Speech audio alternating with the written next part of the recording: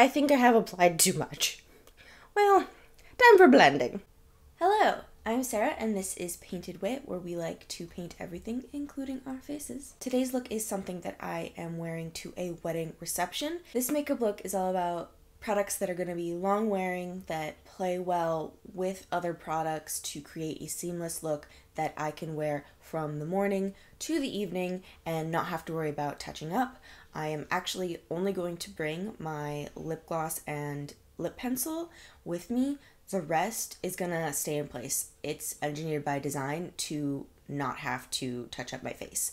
So without further ado, if you would like to see this makeup application. It's not quite a tutorial, but if you'd like to see me put this makeup on my face and talk through what products I did and why I picked them, keep on watching. Do you like my top? Repping the Try Guys merch, but um, their thing is a Triceratops, so I have a decent amount of their merch as a Sarah who likes to wear tops. Okay, to start with primer, I'm going to use this product. It is the Face Theory Ultra Glide Face Primer, a silicone free natural makeup primer. I use Face Theory for most of my skincare, so when I saw this on the website and that they were expanding into makeup, I was very excited. This is basically just like a moisturizing and hydrating um, primer. I'm not sure I notice a longevity factor, but I use most of my products are for longevity, so it, it's just a lovely feeling. I have already um, put on sunscreen. We're gonna do base next. I've been enjoying mixing my Auric primer glowy thing. Oh, the Glow Lust. I also enjoy using it as like a wet sheen highlighter, but um, it does add a nice glow, especially if I'm having a good skin day like today. Um, yeah, this is really nice. So I'm gonna pop some of that on the back of my hand, only like this pump is really nice. I know Sam designed it like that, um, but it is really nice for being able to just pump out exactly how much you want. So you'll be able to see that there's just like a pea sized amount, like a baby pea. For foundation, I mix in either equal parts to the Glow Lust or like one and a half times the amount of whatever foundation I'm using. My favorite foundation of all time is the Candid foundation from Revlon. It's got the perfect finish. It's got the right amount of buildable coverage. It is also very cheap. it just I can't recommend like like an Armani foundation when this is just as wonderful. I would say it's most similar to the Bite Changemaker foundation, but it's just thirty cents on Amazon or something. So, you know. so I'm gonna pop some of that on the back of my hand. I'm gonna go with a full pump today. We're going for some coverage. I'll get out a brush, mix those together, and then start applying. I forgot to mention how perfect my shade match is with this foundation. I get 120 buff.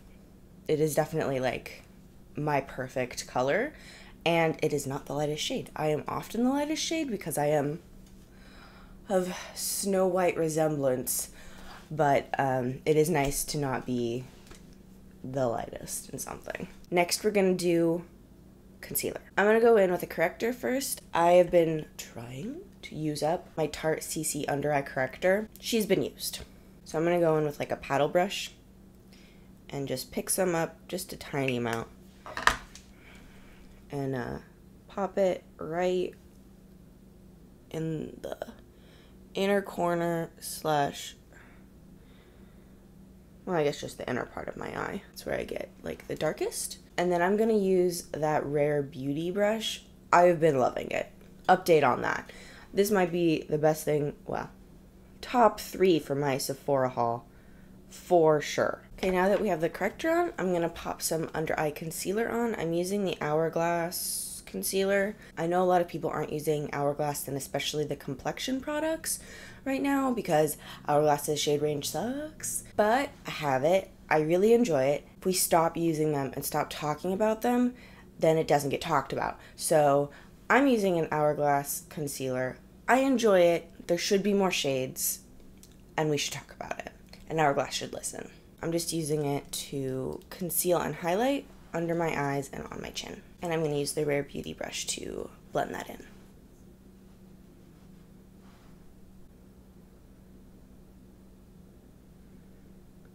We're going to use mostly cream for eyeshadow today, so I'm not too worried about fall down. And then I'm going to use a ColourPop concealer for face concealing. Um, this is the No Filter concealer, and I'm using shade Fair 8 for my face, but I have in my pile of empties Fair 4, which I was using under my eyes for reference. I have a neutral undertone complexion products can sometimes be the bane of my existence in terms of finding the correct undertone.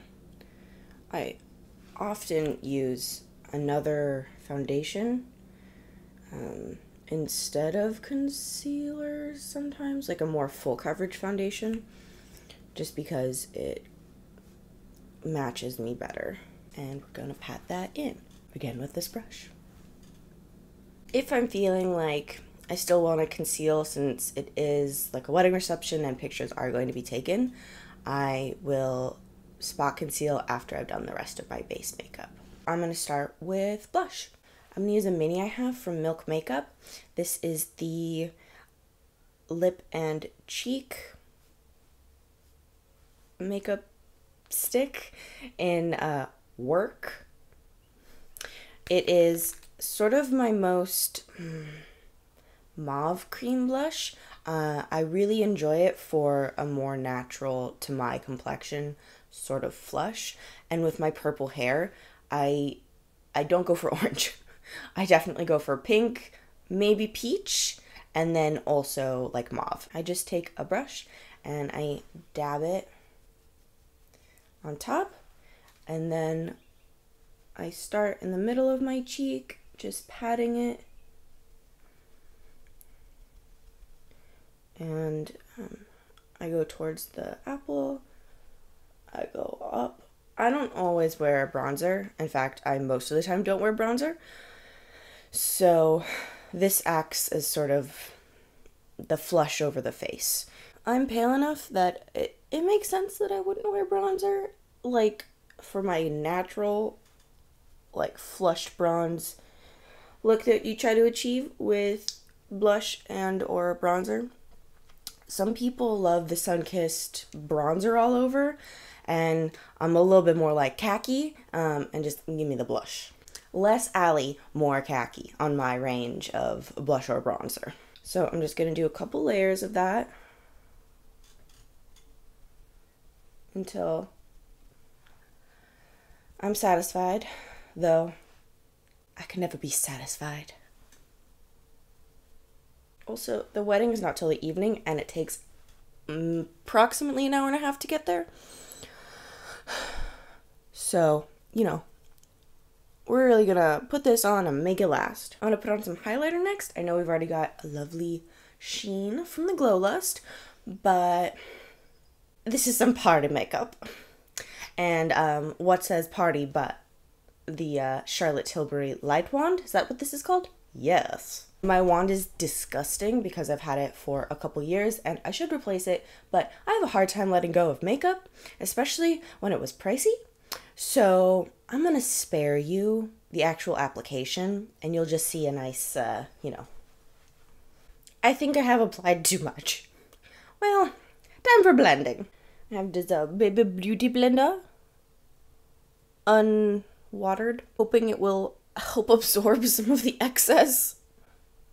I mean, it's gorgeous, but it's a lot. Go over my lip, which I can't do on my work for my work makeup because no one sees it because of masks. Okay, at this point, we're very shiny. I'm gonna go ahead and take my blush brush and just go over it and uh, sort of meld those products together. Maybe take a little bit more blush and just really blend. Alrighty. Next, I'm going to move on to the eyes. I'm going to start with the Anastasia Beverly Hills Eye Primer. Do I think it works better than other eye primers? No. I'm using it though. I'm to take my Rare Beauty brush again. I'm telling you, this thing is getting so much use. I should buy backups. As a new to YouTube beauty person, I looked through my palettes to see which were still in use because I don't buy a lot of palettes because I try to work my way through the ones I have. And um, listen, almost none of them are still in stock. So I'm going to use the Bare Minerals Bare Sensuals palette. That's what I've been using as my mirror this whole time. And um, I'm also going to use some other cream products that are discontinued. I think. You can't buy them anyways. They're all sold out, you know? Just use whatever cream products you have. This is just for a play with makeup and to show you what I would wear to this kind of situation. So take it with a grain of salt. I am going to use this Trish McEvoy eye cream pencil, the 24 hour eyeshadow and liner in Smoky Quartz. I got it because it it's been difficult to get by Terry um in my life in general. I don't shop at Nordstrom regularly, and so the, that I think that's the only place you can really get it. Um, like that's a big department store kind of thing. So, um, this was a good option that I came across in a local beauty, like luxury beauty supply center. Uh, and it's pretty dang close to the Misty Rock, I think, that I've coveted for so long. So, this is my dupe that is mm, maybe $2 less. It's really not really a dupe. it's just more easily accessible to me. So it is this, I think it's called like a smoked amethyst on the Trish McEvoy website. It's like a brownie purple silver, which is my favorite. I'm applying this all over the mobile lid. Which is interesting that I said that because I normally say mobile. I'm taking a blending brush and I'm just going to blend out the edges. And then I'm going to take a different blending brush and just sort of keep going. I'm going to do the same on the other eye.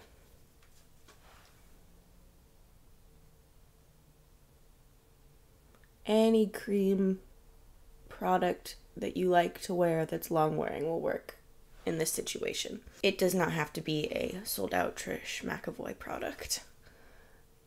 Or by Terry for that matter, though I imagine this would work very well with the by Terry. I have some Laura Mercier caviar sticks.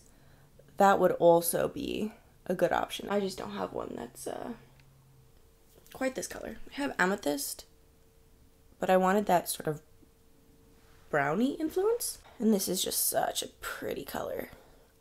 I can layer purple on top or brown or silver and it always just comes out beautifully. Using that same blending brush, I'm gonna pick a color from my Bare Sensuals palette to go into the crease. Don't mind these, they are from the Urban Decay Naked 2 palette that I depotted before throwing the rest of the palette away because these and one more that are in a different thing are my favorite from that palette. So I was like, well, I'm keeping these.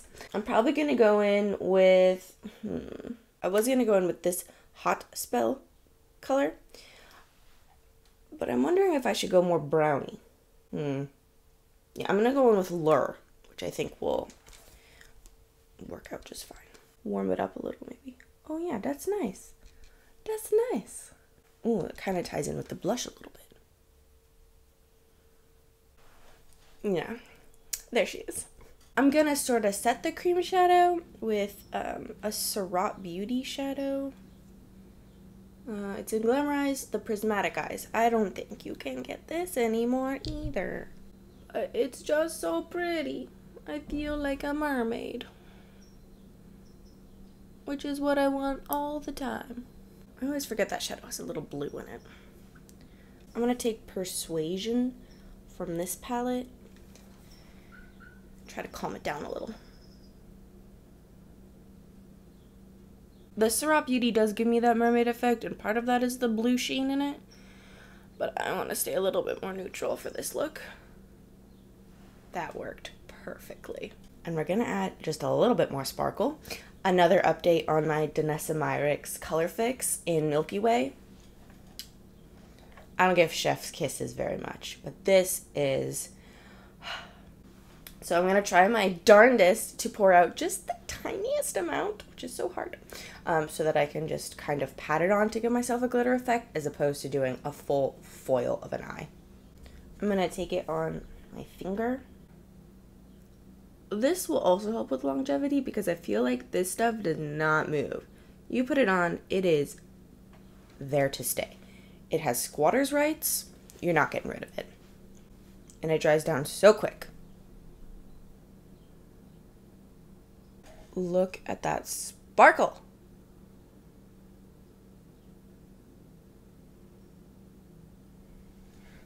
It's excellent.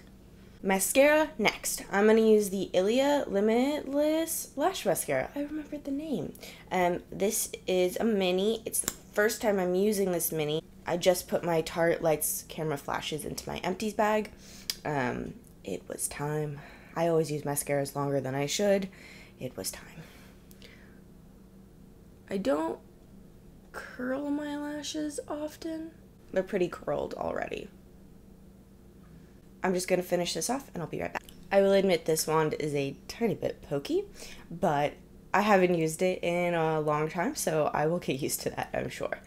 It just gives such a lovely separated full lash. Um, the Lights Camera Flashes mascara really gives me volume, but it is nice to see this length so I'm enjoying this. We will conquer brows next. I'm going with the Kosas brow products again. Uh, I've been using them every day since I got them, and I really enjoy them. Start with uh, fluffing these butters up. In the morning before work, I do enjoy using the triangle in like the upright position and really just like and then it's and then it's in and I'm done. And then, then I focus a little bit in the front with it um, like strokey. So that's what I'm gonna do today. And then focus on some strokes. In the front part. And that's all she wrote. I'm going to add in the Kosas Air Brow next. Just that clear brow gel as a warning, I can feel that Danessa Myricks sort of on my eyes. I imagine it would be similar to having lashes on. I don't wear lashes. Um, that it's just like you can feel something there. It's not bothersome, but I do wonder if I'm going to get used to it. Now is time to reassess the skin. Do I need to pinpoint conceal? And I'm going to say yes, just because of pictures. If this was a normal everyday look that I was doing, I would stop here. It would be fine. I'm going to use the NARS Soft Matte Complete Concealer in Light 1 Chantilly. And just, you know, identify some places that could use a little extra coverage. And then I will blend with my finger, which has glitter on it. And then I will blend with my Rare Beauty brush as it is supposed to mimic a finger, it is kind of perfect for this thing. Okay, this section over here, I feel like when I turn, you can see that I've covered up the blush. So, to fix that, I'm going to take some of my blush on the back of my hand in the non-glittery portion and then I'm going to take my concealer brush and I'm just going to mix it in with whatever was left on the, what was it? Whatever was left on the brush. I'm just going to mix it in and then go back in. And hopefully this will help with the colors. And I'll go in with more blush to see if that helps too.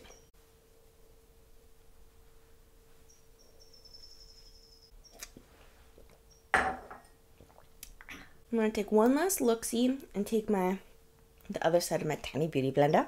Pat in any lines I see. I should probably put something in my inner corner. I'm gonna take a tiny brush and I'm gonna take that um is it Sin from the Naked 2 palette that's just in my palette. One of the reasons I kept this is because it's such a beautiful inner corner highlight. And I think it pairs really well with this Bare Minerals palette actually. So it's uh it's been adhered with lash glue to where the brush holder is. Je ne regrette pas. Time for powder.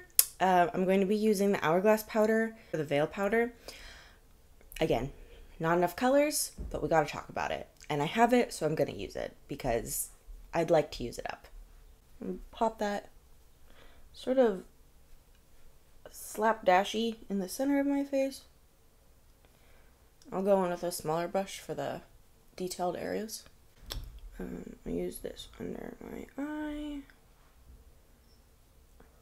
This brush is part of a set that looks like Harry Potter wands. I believe I'm using the Elder Wand to uh to set my face today.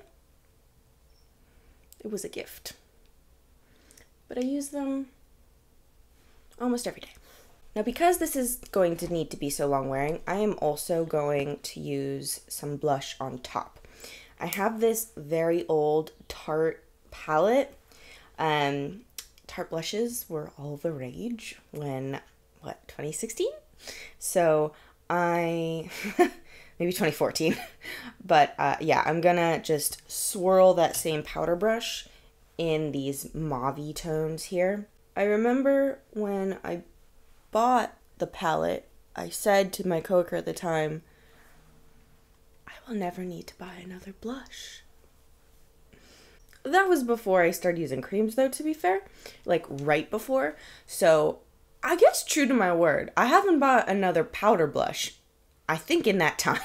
I think that Light Wand in combination with the Auric is giving me enough shine. I don't need to add a powder highlight on top. The only thing left is setting spray, which I've been using more because of mask wearing in the last year. Before that, I didn't really use setting sprays except for special occasions like this. But when in Rome, use a setting spray.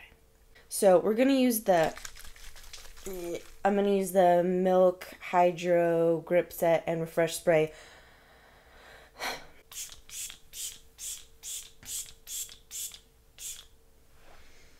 It has the, it has a scent, the same, uh, the, the primer of this, you know, the, the primer that matches that has the same scent that I, I could never put my finger on.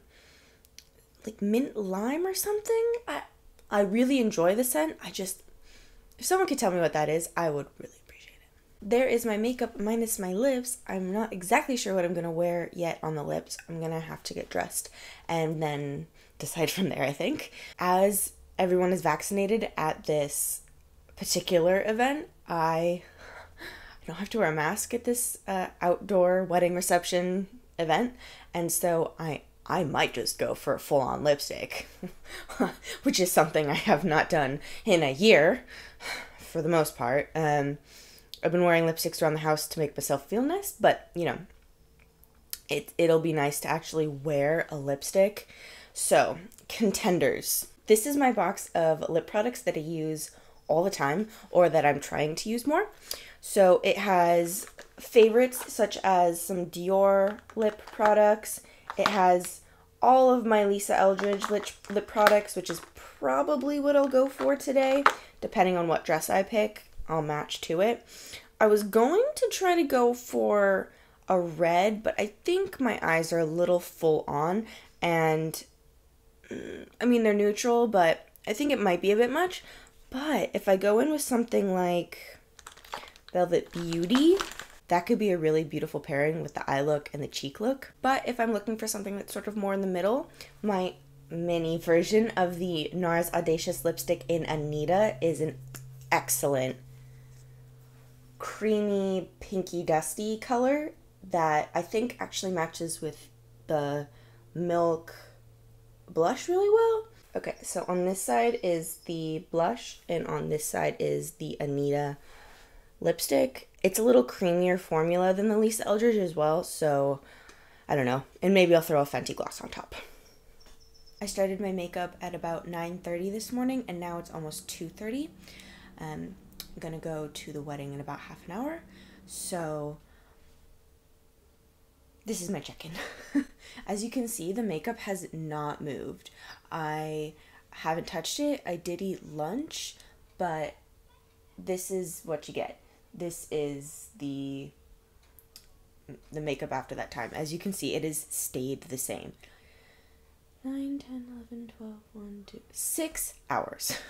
um, or maybe 5 since completion, but it this is this is what it is. So um, the only thing that I might do is touch up the powder on my chin a little bit and maybe over this blemish on this side just so that I can ensure that it'll stay through the next several hours. Go over. I put on the Dior lip glow right after I finished doing my makeup and then I ate lunch and it's worn off now. But my lips are definitely well nourished. So it is time to do. The question is which lip? I think I am actually going to use that NARS lipstick. I have it in Anita. This is a mini version. The full size looks like this. I got this in a set a couple years ago. I normally start lipstick and then add on lip liner if I need it. I'm not a major lip liner person. I will with a dark color, but for a really nude color like this, I'm just going to go straight in. Alright, we are going to use a lip liner. I'm going to use the Charlotte Tilbury lip liner in Pillow Talk. Just to even out my lip line from my somewhat messy initial application.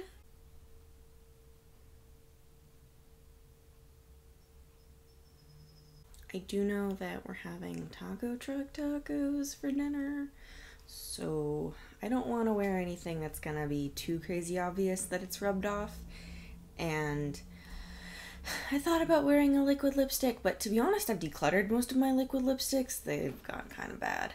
Um, so I only have a few options, one of which is the very beautiful M Cosmetics um, soft matte lip cream or whatever it's called. Mm, not quite. It's it's a little too bright. Another option I have is the Lip Slut uh, liquid lipstick, which is almost exactly the same color as the M Cosmetics one, except this one is a true dry down liquid lipstick. This would have been my go-to choice if I had done something really minimal on the eyes and still wanted like a bold lip and a liquid lipstick. Oh, and I also have this red Fenty lipstick if I'd wanted to go red.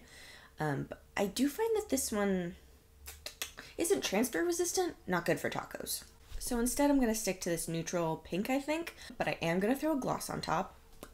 This is a mini of the uh, Fenty Gloss Bomb in Fussy, and it's just that slightly more mauve, and I think it'll play well with the eyes. So I'm going to throw this in my purse, and uh, that'll be what I touch up for the rest of the night. I might also throw in the Pillow Talk just to have something just in case, but this will be perfect for the rest of the night. And this is the final look.